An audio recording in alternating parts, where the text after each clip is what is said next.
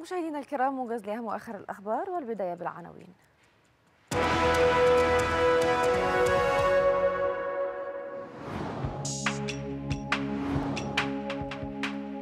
الرئيس السيسي يعود إلى أرض الوطن بعد المشاركة في قمة بغداد بين مصر والعراق والأردن.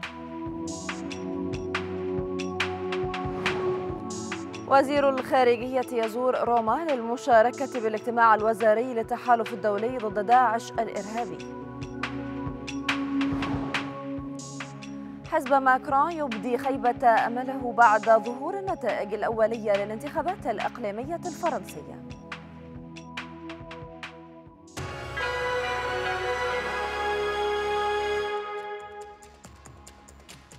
التاسعة صباحا السابعة في جرينتش موجز إخباري يأتيكم من القاهرة. أهلا بكم. عاد الرئيس السيسي إلى أرض الوطن بعد مشاركته في قمة بغداد الثلاثية مع رئيس الوزراء العراقي مصطفى الكاظمي والعاهل الأردني الملك عبد الله الثاني. القمة تناولت تعزيز التعاون الثنائي بين الدول الثلاث والتشاور بشأن مستجدات الأوضاع في المنطقة في ظل التحديات الراهنة. وخلال القمة أكد الرئيس السيسي الحرص على الحفاظ على الأمن المائي العربي مؤكدا موقف مصر الثابت من ضرورة التوصل لاتفاق قانوني ملزم بشأن ملء وتشغيل سد النهضة.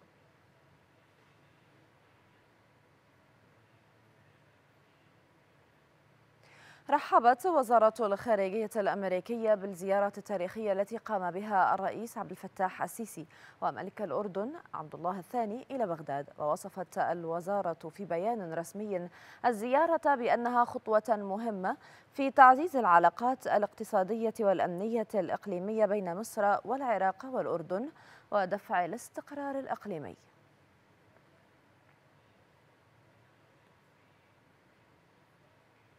هذا فيما ثمن رئيس البرلمان العربي عادل العسومي مخرجات القمة الثلاثية التي استضافها العراق بين الرئيس عبد الفتاح السيسي والعاهل الأردني الملك عبد الله الثاني ورئيس وزراء العراق مصطفى الكاظمي.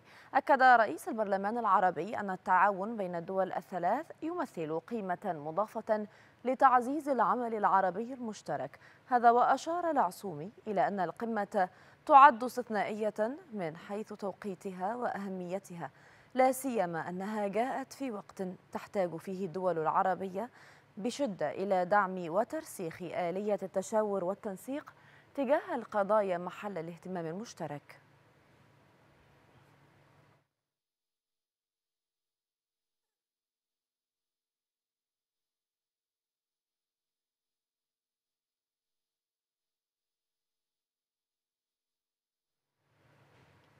أعلن تحالف دعم الشرعية في اليمن عن تدمير الدفاعات الجوية السعودية صاروخين باليستيين أطلقتهما قوة الحوثي تجاه جنوبي المملكة.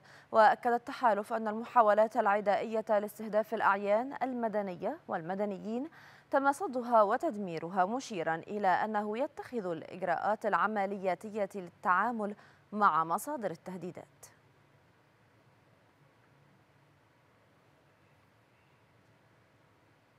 فشل اليمين المتطرف بزعامة مارين لوبان في الحصول على أي إقليم إثر الدورة الثانية من الانتخابات الإقليمية الفرنسية وفق التقديرات الأولية. وسجل اليمين الوسط, الوسط صعودا ملحوظا في عدة مناطق منها إقليم نورماندي الواقع بشمال غرب فرنسا حيث حصل على نسبة 44 وعشرين في المئة من أصوات الناخبين. من جهته أبدى حزب الرئيس إيمانويل ماكرون خيبة أمله. إثر ظهور النتائج الأولية للانتخابات التي غلب عليها العزوف غير المسبوق عن التصويت حيث سجلت نسبة المشاركة 27 و9.89%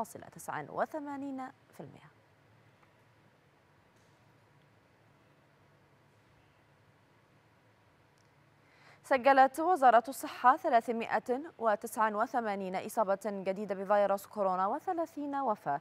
قال المتحدث باسم الوزارة خالد مجاهد قال إن إجمالي العدد الذي تم تسجيله في مصر بفيروس كورونا المستجد هو 280 ألفا و394 إصابة من ضمنهم 210 آلاف و52 حالة تم شفاؤها و16092 حالة وفاة.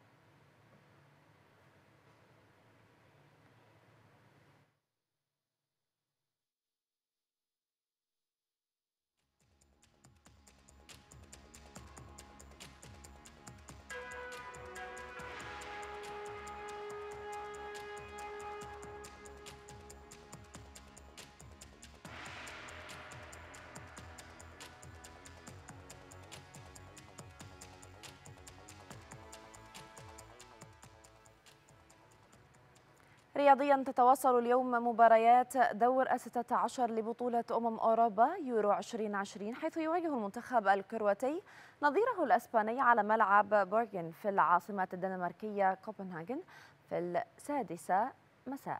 كما يلتقي المنتخب الفرنسي نظيره السويسري في ملعب أرينا ناسيونالا في مدينة بوخارست الرومانية.